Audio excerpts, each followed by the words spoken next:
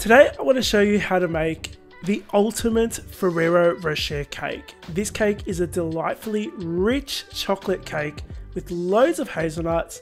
It's filled with my chocolate ganache, which is just incredible. And I think the show-stopping element for this cake is that glossy one bowl chocolate sauce that I cover the cake with.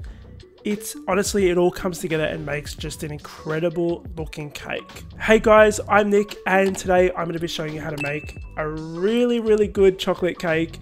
This is a Ferrero Rocher cake, so let's get started. To a large mixing bowl, you're going to add some flour, sugar, cocoa powder, baking powder, bicarb soda, some salt, and toasted hazelnuts. Give this a whisk until everything is combined. Now with those hazelnuts, I'm going to be using lots of it in this recipe and I'm going to be using toasted hazelnuts with no skin. I've left instructions on how to toast the hazelnuts, how to get rid of the skins in the written recipe on the website. To a separate bowl, you're going to be adding some eggs, milk, oil, vanilla extract, and some melted butter. Give that a whisk and then add the wet to the dry ingredients. Give that a mix, taking care not to over mix, just mix until there are dry ingredients showing. What makes this cake ultra moist and just so chocolatey is adding boiling water as the last step. I don't know what it is about this ingredient, but it just makes this cake incredible.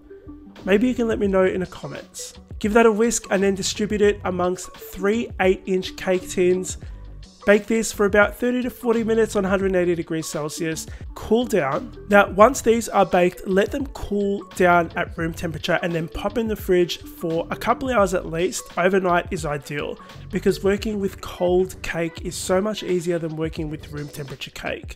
So this is an important step, it's going to make your life easier. Once they've cooled, take them out of the tin and take away the baking paper, trim these in half, so all up you'll end up with 6 layers of cake. We're going to be filling and covering this cake with my chocolate ganache recipe. The recipe for that is over on thescranline.com. It's a great recipe and it's really easy to make. Add a thin layer of chocolate ganache on the first layer of cake. And by the way, I'm using an offset spatula and a cake turntable, which makes this like cake decorating process so much easier. Add a sprinkling of toasted hazelnuts and then add the next layer of cake and just repeat that until you've got all six layers of cake on there.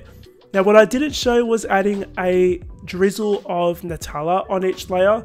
I completely forgot to do that. I had it in the piping bag ready next to me and I got carried away with everything else. Anyway, you can do that if you like. Cover this cake with chocolate ganache on top and on the sides. It doesn't need to look perfect, but get it as smooth as you can. And then we're going to be adding some chopped hazelnuts on the top and the sides of the cake. This cake is not meant to look smooth, it's meant to look bumpy like a Ferrero Rocher, so it's going to look a little bit rustic, but getting the sides and the top nice and smooth before you add the hazelnuts will make it look a little bit neater. So get those hazelnuts on there and I'd even go as far as squishing them a little bit just gently with your hands around the sides and the top. Pop these in the fridge for at least 2 hours to chill overnight again is best because we're going to be covering this with warm chocolate sauce. And because it's warm, if the ganache is not cold, it could melt the cake. So make sure that your cake is really, really chilled. Now, that one bowl chocolate sauce recipe is on my website, and I've left the link for this recipe and the chocolate ganache in the recipe for this cake on the website at scranline.com. I've got tips and tricks up there as well, lots of information, ingredients, measurements, cups, and grams. Check it out on the scranline.com. Cover the cake with that sauce and then use an offset spatula to just even it out.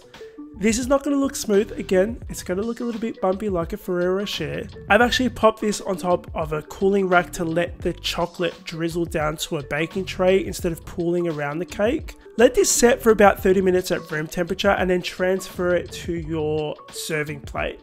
I use two spatulas to do this. Do it slowly and take your time.